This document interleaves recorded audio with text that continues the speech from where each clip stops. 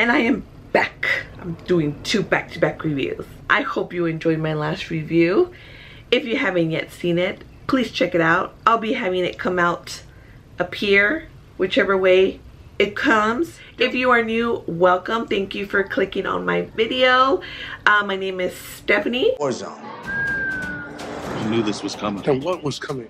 Revolution. And today we're going to be reviewing El Chicano. So let's go ahead and get on with my shenanigans.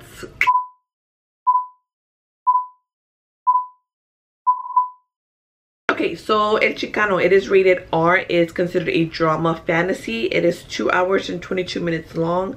Wow, it was 2 hours long? No wonder I felt like I was there forever.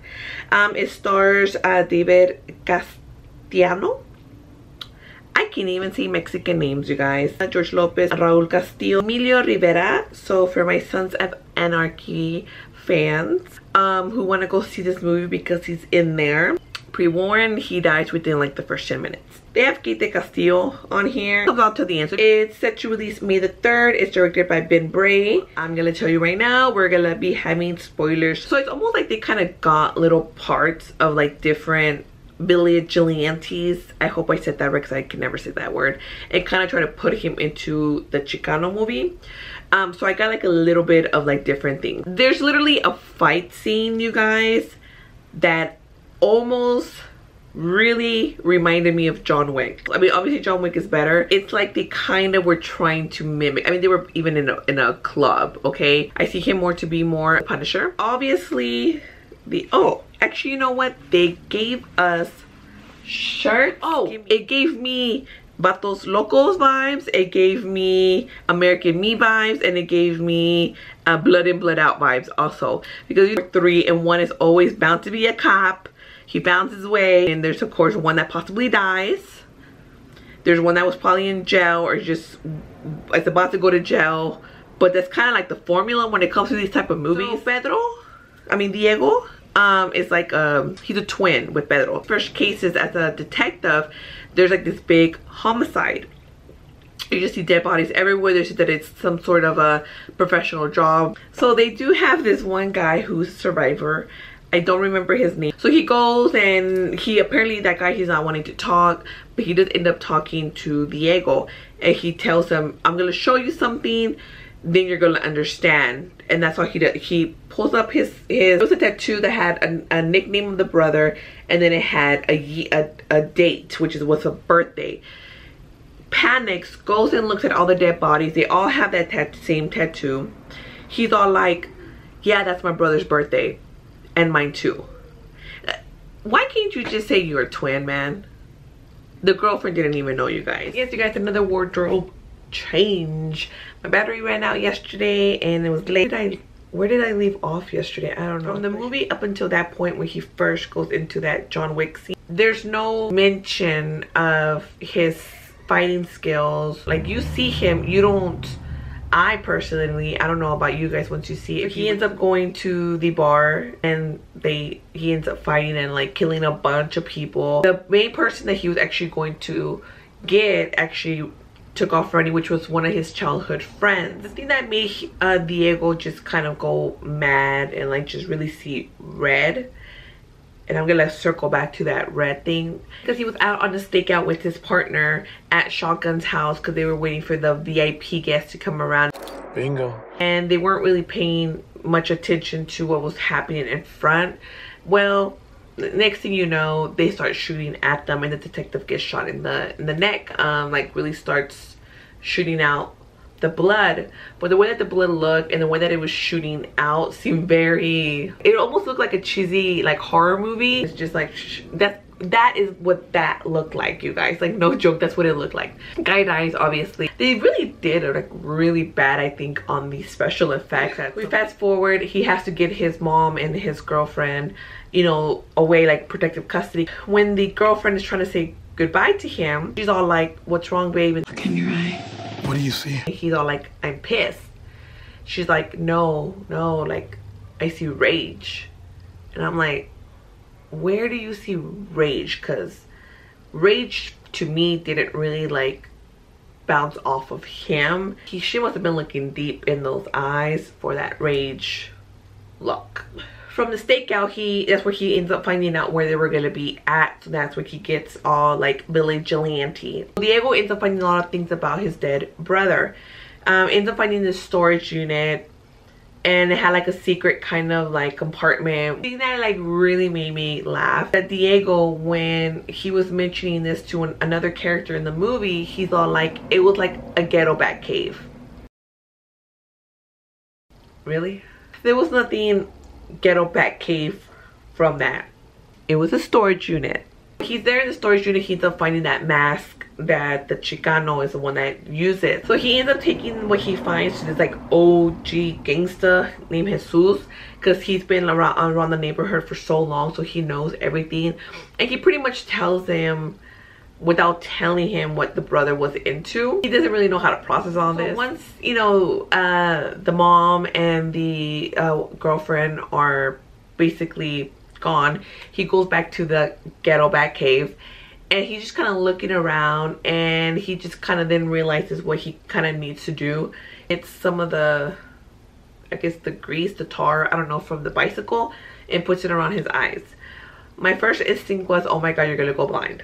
Why would you do that? It's a movie, but like, why would you do that? Like, go and like buy yourself some like black paint so you can paint around. Like, don't put this tire stuff on your face, man. Don't, don't do that at home, guys. Don't the cartel actually ends up blowing up the police precinct, okay? And this is where I'm circling back to Red. Ends up going there, everything's blown up. So he ends up going inside the police station to try to go find the captain, the captain's like, he, they took my guys, they took my officers, and Diego's like trying to give him help. And this is the part that like tickles me. Really, the background of the screen turns red. Like, it's just red. And then this is where I'm kind of also confused. The cartel, they have the cops, okay?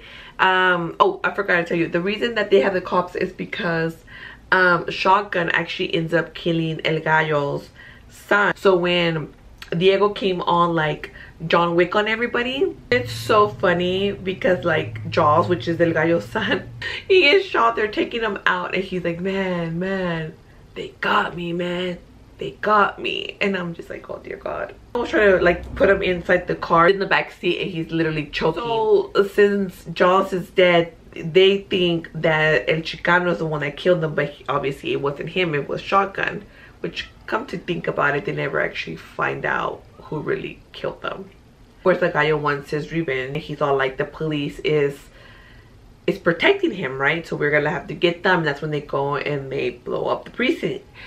And and that's when they get the cops okay? So circle back i'm sorry I'm, i i kind of get we'll get to where we need to get. So after the explosion right? He sees the red. He ends up taking three cops. When you get to where they're being held there's one already dead. There's two that are about to be killed. They like hanging there. They have the thing and everything. Shotgun comes and it's like has like the chainsaw you know typical like cartel move right? Trying to like saw everybody up. So while they're being like tortured El Chicano magically appears at this warehouse. How does he know where they're at?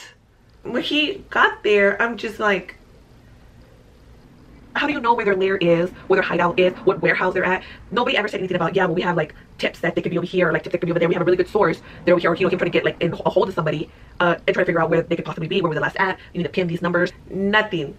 Magically appears and like starts like saving everybody, well, killing everybody and saving the girl because they end up killing the other guy. So somewhere around there, he ends up killing a guy. Shotgun is um, fleeing, but El Chicano like goes, gets some. Um, they have this last like kind of fight. Shotgun ends up shooting El Chicano. Chicano was turned back, the AK Diego. He was trying to go get the knife to finish him off.